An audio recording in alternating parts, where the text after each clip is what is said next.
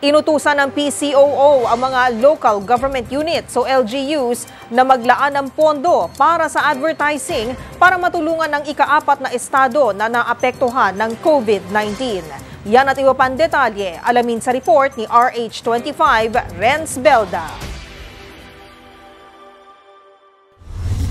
Inatasan ng pinuno ng Presidential Communications Operations Office o PCOO ang mga local government units o LGUs na maglaan ng pondo sa advertising para matulungan ang ikaapat na estado na naapektuhan ng coronavirus disease 2019 o COVID-19. Sa kanyang pagbisita sa lungsod ng Lipa kahapon, hiniling ni Secretary Martin Andanar kay Mayor Eric Africa Gaindi sa Information Office at iba pang LGUs na maglaan ng pondo sa advertising para sa mga dyaryo at radyo bilang tulong sa media. Ayon kay Secretary Andanar, alam niya na malalim malalim ang problema ng media dahil napektuhan ng pandemya bunsod ng pagbagsak ng ekonomiya. Ayon sa opisyal, alam niya na nakadepende ang mga media outlets sa advertisement. Binanggit nito, may mga natanggap siyang report mula sa Publishers Association of the Philippines, kapisanan ng mga broadcaster ng Pilipinas o KBP maging sa MBC na may mga nagsarang media outlets o kung hindi man ay nag-downscale o kaya naman ay nagbawas ng sweldo ng mga empleyado. Dagdag pa nito na bukod sa ipinaglalaban nila na huwag matapyasan ang pondo para sa advertising, ipinaglalaban din nila ang uh, Media Welfare Act na hindi ng pagbibigay ng hazard pay sa mga ito.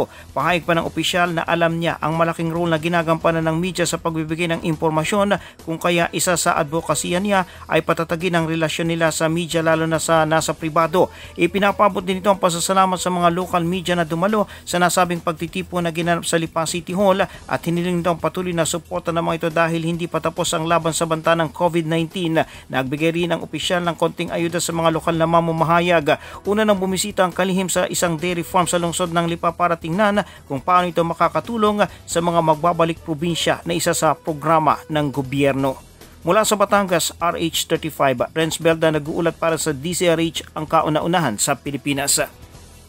Thanks for watching. The video is part of DZRH Play Now. DZRH Play Now is the digital platform of DZRH digital properties. DZRH News Television Facebook, DZRH Manila, DZRH News Television YouTube, and www.dzrhnews.com. Watch all DZRH Radio and DZRH News Television programs and segments.